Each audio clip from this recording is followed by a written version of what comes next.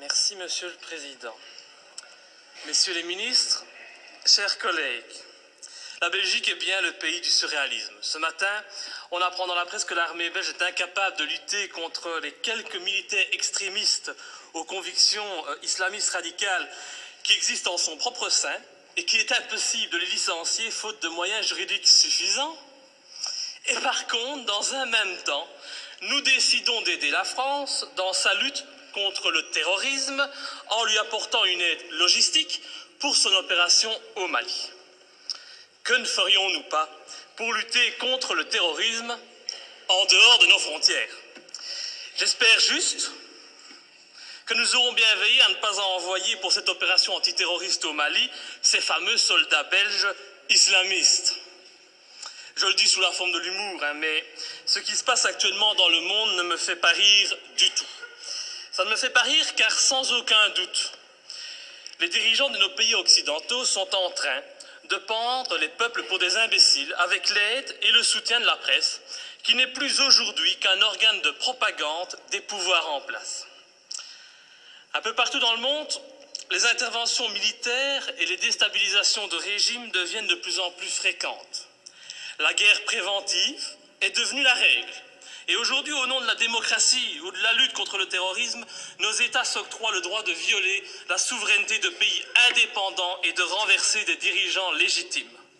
Il y a eu l'Irak et l'Afghanistan, ces guerres du mensonge américain, sont venues par la suite la Tunisie, l'Égypte, la Libye, où, grâce à vos décisions, notre pays a participé en première ligne à des crimes contre l'humanité pour renverser à chaque fois à chaque fois des régimes progressistes et modérés et pour les remplacer par des régimes islamistes dont, et c'est quand même bizarre, la première volonté fut d'imposer la charia.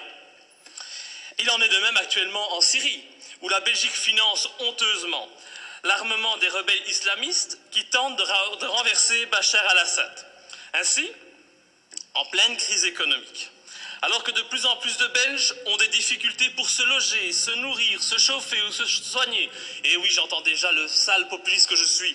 Eh bien, le ministre des Affaires étrangères, il a décidé d'offrir aux rebelles syriens 9 millions d'euros. Bien sûr, on est en train de nous faire croire que cet argent servira à des fins humanitaires, un mensonge de plus. Et comme vous le voyez, depuis des mois, notre pays ne fait que participer à la mise en place de régimes islamistes dans le nord de l'Afrique et au Moyen-Orient. Alors, quand on vient prétendre partir en guerre pour lutter contre le terrorisme au Mali, eh bien, j'ai bien envie de rire. C'est faux. Sous des apparences de bonnes actions, nous n'intervenons que pour défendre des intérêts financiers, dans une totale logique néocolonialiste. Il n'est véritablement pas cohérent de partir aider la France au Mali au nom de la lutte contre le terrorisme islamiste, lorsqu'au même moment, on soutient en Syrie le renversement de Bachar al-Assad par des rebelles islamistes qui souhaitent imposer la charia, comme c'est déjà le cas en Tunisie ou en Libye. Il faut vraiment arrêter de nous mentir et de prendre les gens pour des imbéciles. Le temps est au contraire venu pour dire la vérité. En armant les rebelles islamistes comme les Occidentaux ont auparavant armé Oussama Ben Laden, cet ami des Américains avant qu'il ne se retourne contre lui, eh bien les pays occidentaux en profitent pour implanter dans les nouveaux pays conquis des bases militaires tout en favorisant leurs entreprises nationales. Tout est donc stratégique. En Irak, nos alliés américains ont mis la main sur les richesses pétrolières du pays. En Afghanistan, ce fut sur l'opium et la drogue, toujours très, très utile pour se faire beaucoup d'argent assez rapidement. En Libye, en Tunisie, en Égypte ou encore en Syrie, le but fut et est encore actuellement de renverser les pouvoirs modérés pour les remplacer par des pouvoirs islamistes qui très rapidement deviendront gênants et que nous attaquerons sans vergogne sous prétexte de lutter, à ce moment-là encore, contre le terrorisme ou de protéger Israël et dont les prochaines cibles sont déjà connues.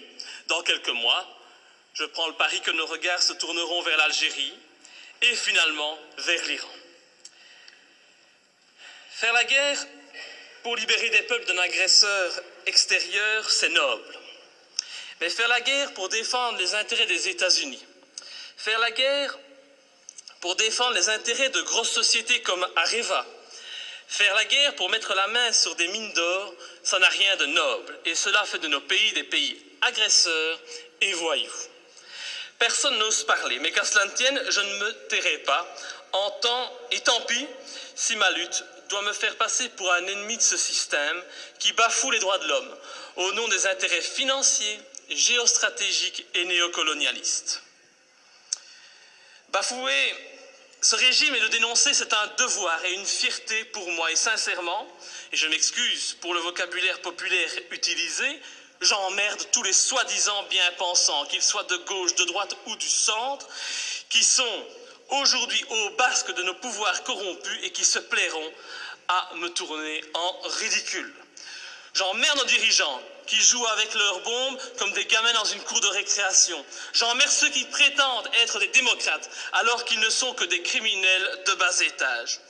Je n'ai pas beaucoup de respect non plus pour les journalistes qui ont le culot de faire passer les opposants pour des débiles mentaux alors qu'au fond ils savent très bien que ces opposants ont parfaitement raison. Je méprise enfin au plus haut point ceux qui se prennent pour les rois du monde et qui nous dictent leurs lois, car moi je suis du côté de la vérité, du côté de la justice, du côté de ces victimes innocentes du pognon à tout prix. Et c'est pour cette raison que j'ai décidé de m'opposer clairement à cette résolution qui envoie notre pays soutenir la France dans son opération néocolonialiste. Depuis le début de l'opération française, le mensonge est organisé. On nous dit que la France ne fait que répondre à l'appel au secours d'un président malien. On en oublierait presque que ce président n'a aucune, mais aucune légitimité et qu'il a été mis en place pour assurer la transition suite au coup d'État de mars 2012. Qui a soutenu ce coup d'État? Qui en est à la base? Pour qui travaille ce président de transition? Voilà le premier mensonge. Le président français François Hollande ose prétendre mener cette guerre pour lutter contre les djihadistes qui menacent, oh, ils menacent, rendez-vous compte, le territoire français et européen. Mais quel vilain mensonge En reprenant cet argument officiel, tout en profitant pour effrayer la population, en augmentant le niveau de la menace terroriste, en mettant en œuvre le plan Vigipirate, nos dirigeants et les médias font preuve d'un culot inimaginable. Comment peut-on oser sortir un tel argument alors que la France et la Belgique n'ont pas hésité à armer et soutenir les djihadistes en Libye et que ces mêmes pays continuent actuellement à soutenir ces djihadistes en Syrie? Ces prétextes ne servent qu'à cacher des dessins stratégiques et économiques.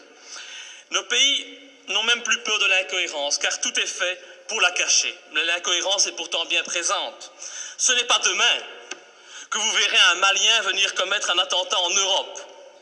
Non, à moins qu'on en crée un subitement pour mieux justifier encore cette opération militaire. On a bien créé le 11 septembre pour justifier l'invasion, l'arrestation arbitraire, la torture et le massacre de populations innocentes. Alors créer un terrorisme malien, bon, ça ne doit pas être trop compliqué pour nos dirigeants sanguinaires. Un autre argument utilisé pour justifier ces derniers mois les opérations militaires, c'est la protection des droits de l'homme. Ah, cet argument est encore utilisé aujourd'hui pour justifier la guerre au Mali. Mais oui, nous devons agir, car sinon les méchants islamistes radicaux vont imposer la charia au Mali, lapider les femmes et couper les mains des voyous.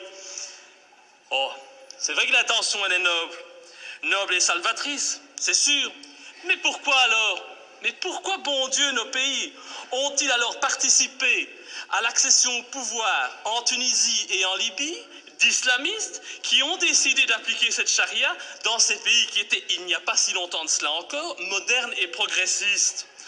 Je vous invite à demander aux jeunes Tunisiens qui sont à la base de la révolution en Tunisie s'ils sont heureux de leur situation actuelle. Tout cela, c'est de l'hypocrisie. L'objectif de cette guerre au Mali est très clair. Et puisqu'on n'en parle pas, je vais en parler. L'objectif, c'est de lutter contre la Chine et permettre à notre allié américain de maintenir sa présence en Afrique et au Moyen-Orient. C'est cela qui guide ces opérations néocolonialistes. Et vous verrez, quand l'opération militaire sera terminée, la France conservera bien entendu des bases militaires au Mali. Ces bases serviront aussi aux Américains. Et en même temps, parce que ça se passe toujours comme ça, des sociétés occidentales mettront la, la main sur des contrats juteux qui priveront de nouveau les pays recolonisés de leurs richesses et de leurs matières premières. Alors, soyons bien clairs, les premiers bénéficiaires de cette opération militaire, ce seront les, les patrons et les actionnaires du géant français Areva, qui tentent depuis des années d'obtenir l'exploitation d'une mine d'uranium à Faléa, une commune de 17 000 habitants située à 350 km de, Bamako. Et je ne sais pas pourquoi, mais mon petit doigt me dit qu'il ne faudra pas longtemps pour qu'Areva puisse enfin exploiter cette mine. Je sais pas, c'est une impression que j'ai.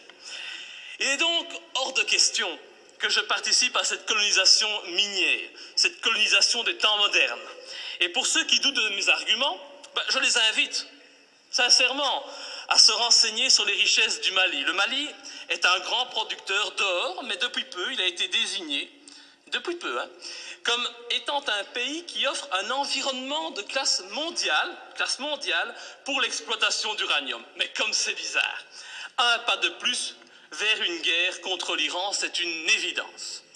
Pour toutes ces raisons, et afin de ne pas tomber dans les pièges du mensonge que l'on nous tend, j'ai décidé de ne pas soutenir cette intervention au Mali. Je voterai donc contre. Et ce faisant, je fais preuve de cohérence, puisque je n'ai jamais soutenu par le passé nos interventions criminelles en Libye ou en Syrie, me profilant de la sorte comme le seul parlementaire de ce pays à défendre la non-ingérence et la lutte contre les intérêts obscurs. Je pense vraiment qu'il est grand temps de mettre un terme à notre participation à l'ONU ou à l'OTAN et de sortir de l'Union européenne si cette Europe, au lieu d'être un gage de paix, devient une arme d'attaque et de déstabilisation de pays souverains aux mains d'intérêts financiers et non plus humanistes.